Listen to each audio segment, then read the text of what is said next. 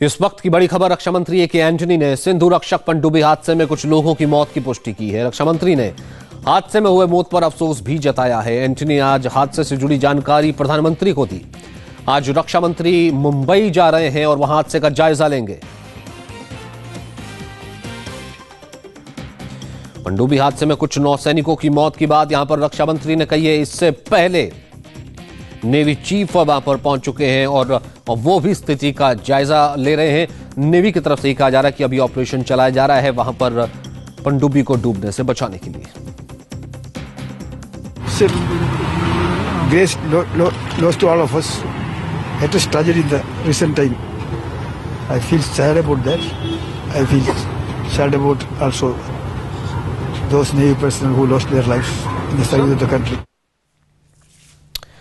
यानी कि इससे पहले सिर्फ़ खबर सुबह से यही आ रही थी, जब से और रात को ये आग लगी थी, पनडुब्बी में धमाका हुआ था, आग लगी थी, और उसके बाद से कहा जा रहा था, सुबह के वक्त खबर आ रही थी कि पनडुब्बी ये डूबती जा रही है इसमें 18 नौसैनिक शामिल थे, जिसमें कहा जा रहा था कि पाँच ने कूदकर अपनी जान बचाई है, और इस वक्त रक्षा मंत्री ने यह खुलासा किया है कि कुछ की मौत की भी पुष्टि है, कुछ की मौत की भी आशंका है।